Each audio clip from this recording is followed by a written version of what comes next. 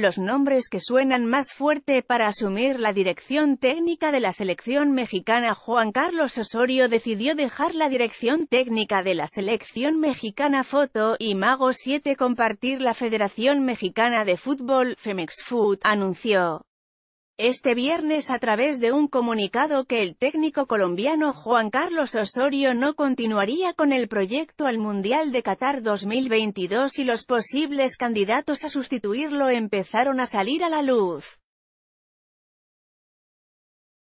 Algunos ya se conocían desde antes como el ex técnico de Chivas de Guadalajara, Matías Almeida, y el actual entrenador de las Águilas del América, Miguel Piojo Herrera.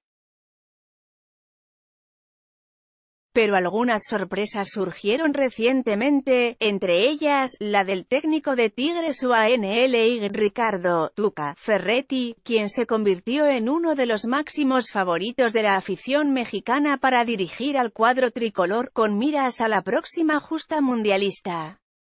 Tuca Ferretti se ha negado una y otra vez a tomar las riendas de la selección mexicana y la única vez que dirigió al cuadro tricolor, fue en 2015 cuando México disputó el partido de promoción ante Estados Unidos rumbo a la Copa Confederaciones de Rusia 2017, luego de la abrupta salida del Piojo Herrera y antes de que Juan Carlos Osorio fuera anunciado oficialmente como seleccionador nacional. Lo que llama la atención es que en el transcurso de la semana Ferretti ya no le puso trabas al tricolor pero aclaró que solo aceptaría el cargo si la directiva de Tigres lo despidiera. Por esta razón, a Ferretti ya no se le descarta del todo. Otros de los nombres que también sorprendieron en la contienda fue el del portugués André Villas Boas, quien ha dirigido entre otros equipos al FC Porto, al Chelsea y al Tottenham. El último equipo al que dirigió fue el Shanghai de China, pero el cargo lo dejó desde enero pasado para correr en el Dakar, pues también lleva en la sangre la pasión por el automovilismo. Los candidatos naturales que se vienen nombrando desde hace meses, cuando ya se empezaba a rumorar que Osorio no seguiría con la selección mexicana después del Mundial, son el del pelado, Almeida, luego de la estupenda labor que logró con Chivas luego de tres años, dándole un título de Liga, dos Copas MX y el título de la Liga de Campeones de la CONCACAF que lo clasificó al próximo Mundial de Clubes. Pero Miguel Herrera no se queda fuera y también tiene opciones viables de regresar a la selección mexicana, pese a la forma poco ortodoxa en la que dejó el timón del Tri, producto de su incontrolable temperamento, pero la amistad que tiene Keillón de Luisa, el nuevo presidente de la Femex Food, es un punto más a favor del Piojo.